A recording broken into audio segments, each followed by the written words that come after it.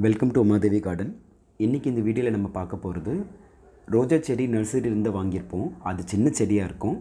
அதை எப்படி பெரிய செடியாக மாற்றுறது எப்படி அதை பராமரிக்கிறது? நர்சரியிலேருந்து வாங்கும்போது ஒரே ஒரு பூவோடு வரும். அந்த பூ பூத்துட்டதுக்கப்புறம் அடுத்த பூ பூக்கிறதுக்கு ரொம்ப நாள் ஆகும். நீங்கள் எப்படி பார்த்துக்கிறீங்கிறத பொறுத்து அது பூக்கலாம் பூக்காமே போகலாம்.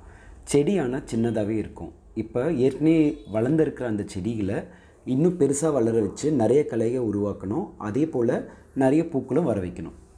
அப்போ தான் வந்து ரோஜா செடி வாங்குறதுக்கான யூஸே இருக்கும். இப்போ இந்த வீடியோவில் எப்படி இதெல்லாம் பண்ண போகிறது அப்படின்னு சொல்லிட்டு பார்க்கலாம். வீடியோ பிடிச்சிருந்ததுன்னா மறக்காமல் சப்ஸ்கிரைப் பண்ணுங்கள் லைக் பண்ணுங்கள் ஷேர் பண்ணுங்கள் அப்போ தான் இன்னும் இந்த மாதிரி நிறைய வீடியோ போட முடியும். இந்த இந்த இந்த ரோஜா செடிக்கு இந்த இந்த மாதிரி கீழே இந்த இது இந்த பேண்டு போட்டு வச்சுருக்காங்களே கயிறு ஒட்டு போட்டு வச்சுருப்பாங்க. இந்த ஒட்டுக்கு கீழே இந்த இந்த மாதிரி வர கலைஞரை வந்து கட் பண்ணிடணும். இந்த மாதிரி வளர விடக்கூடாது. இந்த மாதிரி அது இந்த மாதிரி வளர்ந்துச்சுன்னா அந்த செடியை சா செத்து போயிடும். இந்த சத்து மொத்தம் இதுக்கே இழுத்துன்னு போவோம். இது பாரு இந்த செடி பார்க்கறதுக்கு எப்படி ஃப்ரெஷ்ஷாக இருக்குது பாரு. இல்லை இது பாரு ஃப்ரெஷ்ஷாக இருக்குது. அப்படியே இது பாரு ஜாதி மல்லி செடி மாதிரியே இருக்குது பாரு இது. அதனால இந்த மாதிரி இது ஃபுல்லாக இது வளர்ந்துச்சுன்னா இதில் பூவும் பூக்காது. செடியாக இருக்க இருக்க இந்த சத்து ஃபுல்லாக இதுவே இழுத்துருவே இந்த செடி அப்படியே க பட்டு போயிடும். அதனால இதை வந்து இந்த- இதுக்கு கீழே இந்த இந்த ஒட்டு போட்டிருக்காங்களே இங்கே இங்கே இது வந்ததுன்னா இது வந்து கட் பண்ணிடணும். ஏன்னாக்கா இதுக்கு மேலே இதை இதெல்லாம் வருது பாரு இந்த மாதிரி தான் இருக்கணும். ஏன்னா இது வந்து கீழேருந்து வர்றது. அதனால இது செடியை சாகடிச்சிடும். அதனால் இந்த செடியை இப்போ அந்த செடி நீ சாகடிக்கிறியா? கட் பண்ணிடணும். கட் பண்ணிட்டோம்னா அது என்ன பண்ணுறது இது அவ்வளோதான் செடி சாகடிக்கல. இது இந்த களை தானே இது? இந்த இந்த களை வந்து இது கட் பண்ணிட்டோமா. இதுக்கு மேலே இதில் பூ வரும். இந்த கலைக்கு இன்னொரு செடி வைக்கணுமா? ஆஹா. இது அவ்வளோதான் இது. அவ்வளோதானா தூக்கி ஏன் அதில் வர பூ பூத்துருக்கோம். அதையும் தூக்கி போடுறேன் அதில் பூக்காதுப்பா அதில். பூக்காதா? ஆமாம் பூக்காது. அதில் ஏழு இலை வந்திருக்கும். ஏழு இலை வர செடி எல்லாமே பூக்காதுன்னு அர்த்தம் இல்லை. பூக்கும் ஆனால் இந்த மாதிரி கீழே வர ஏ- இது வந்து. பூக்காது. பூக்குமா பூக்காதா? இந்த ஏ இதுக்கு கீழே வர இந்த ஏழு இலை இதோ வருது பாரு. இது பாரு பார்க்கும்போதே நல்லா முள்ளு முள்ளா நல்லா ஃப்ரெஷ்ஷாக ஜாதி மல்லி காலை மாதிரியே இருக்குது பாரு இது. அதனால இது பாரு இதுக்கும் இதுக்கு எவ்வளோ வித்தியாசம் பார்த்தியா அதனால இது வந்து செத்து போயிடும். இது நல்லா இருக்கும். இது செத்து போயிடும். இந்த செடியை இதோட சத்து ஃபுல்லாக இது இழுத்துன்னு போகுது. எப்படி கம்பீரமாக வருது பாரு இது. அதனால இது அவ்வளோதான் இதுக்கு மேலே இது நல்லா இருக்கும். அந்த மாதிரி இதை வச்சுக்கணும். இது மட்டும் எப்படி பூக்குன்றது இல்லைன்னா ஏழு இலை இல்லையா? இதில் ஏழு இலை இருக்கும். இருந்தாலும் இந்த இந்த செடியோட ஏழு இலை பாருது பாரு. இதோ கூட ஏழு இலை இருக்குது பார்த்தியா. இந்த பாரு இருக்குதா ஏழு இலை. இது பூக்கும். இது பாரு நிறைய முள் கொச கொச கொசான்னு முள் இருக்குது பார்த்தியா இது. அதனால இது வந்து பூக்காது. இது வந்து நல்லா வீரியமாக வரும் செடி. அப்படி சத்து ஃபுல்லாக அதுக்கே போகுது. அதனால அந்த மாதிரி இருந்துச்சுன்னா அதையும் கட் பண்ணி போட்டுடணும். இந்த மாதிரி இந்த மாதிரி இந்த இந்த கீழே இருக்கிற செடிங்க எதனா புல் பூண்டு ஏதாவது முளைச்சிருந்ததுன்னா அதையும் கட் பண்ணிடணும் இந்த மாதிரி மஞ்சள் ஆட்ட இலை இருக்குதா செடியில் அதையும் பிச்சு போட்டுடணும். பிச்சு போட்டு நம்மளுக்கு பூ ஓணுன்னா வந்து நல்ல இதுவாக வரும். இதா இது பாரு இது எடுத்துக்கோ. இந்த மொட்டு இல்லையா? இப்போ இந்த ரோஜா செடியெல்லாம் என்ன பண்ணணும்னா இந்த மொட்டு வருது சின்ன செடியாக இருக்குது ரோஜா செடி.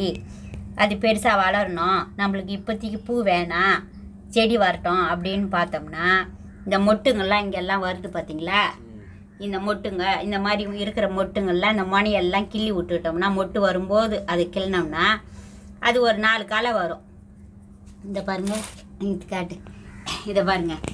அதெல்லாம் இந்த மாதிரி கிள்னது தான் இந்த மாதிரி கிள்ளிது பாருங்கள் பாருங்க. எப்படி துளுப்பா?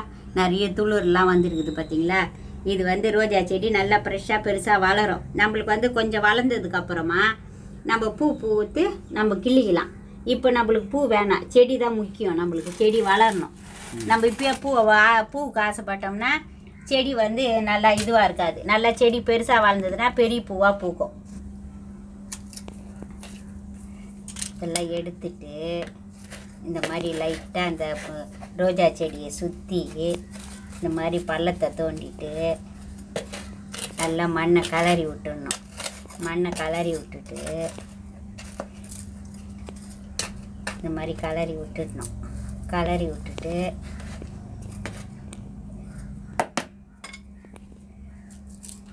இந்த மாதிரி மண்ணை நல்லா கலரிட்டு அதுக்கப்புறமா இந்த காப்பி தூள் காய வச்சு வச்சுருக்கிறோம்ப நல்லா காயணும் வெயிலில். நல்லா வெயிலில் காஞ்சதுக்கப்புறம் இந்த ரோஜா செடியை சுற்றி இந்த மாதிரி பண்ணிட்டு மண்ணை கலரிட்டு இந்த இந்த மாதிரி போட்டுடணும் காப்பி தூள்னா என்ன காப்பி தூள் காம்பி காப்பி தூள் ஃபில்டர் காப்பி தூள் இல்லை டீ தூள் வெடிகட்டின டீ தூள் வெடிகட்டின மிச்சம் மீதி ஆ மிச்சம் மீது மிச்சம் காஃபி போட்டு மிச்சம் இருக்கிற அந்த ஃபில்டர் இருக்குல்ல அந்த காய வைக்கலாம். இல்லைன்னாக்கா காப்பி போடுறவங்க இல்லை. நான் இந்த நெசல் காப்பி தான் போடுவேன் அப்படின்னாக்கா சன் சன் சன்ரைஸ் இதெல்லாம் போடுவேன்னு சொன்னாக்கா அதை விட்டுடணும். அது வேணாம் அது இருக்கட்டும். அது வெறுமை க தண்ணியில் கலந்து செடிக்கு ஊற்றிக்கலாம் இது வந்து ஃபில்டர்னாக்கா இந்த மாதிரி காப்பி தூளை ஃபில்டர் பண்ணதை கீழே தூக்கி போடாமல் அது மிச்சம் இருக்கிறத வெயிலில் நல்லா காய வச்சுட்டு அதை வந்து பொடி அந்த தூளெல்லாம் இந்த மாதிரி செடி இந்த மாதிரி போட்டுட்டு இந்த மண்ணை வந்து இந்த மாதிரி மூடிடணும். சரி.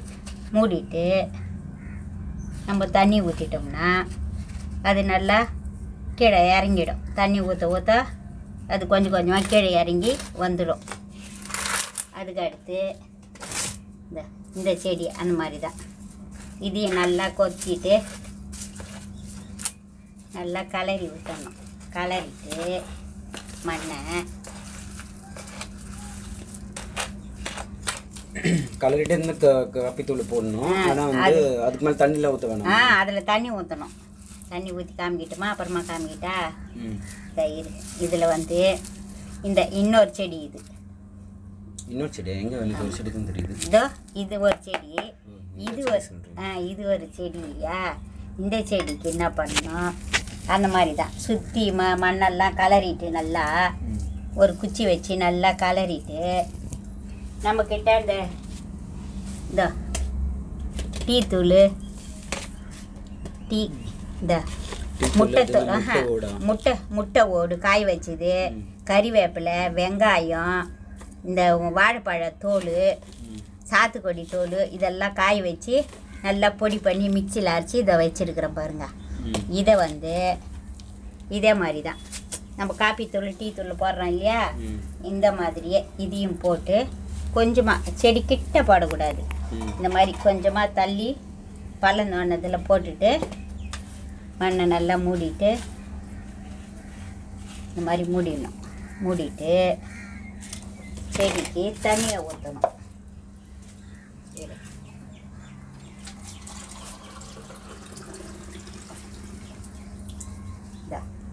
இந்த மாதிரியே தண்ணியை ஊற்ற ஊற்ற அது வந்து கீழே இறங்கிடும். நல்லா செடிக்கு தண்ணி ஊற்ற ஊற்ற அது வந்து கீழே இறங்கிடும். இப்போ வந்து செடி வந்து நல்லா புஷ்டியாக வளரும். செடி ஃப்ரெஷ்ஷாக இருக்கும்.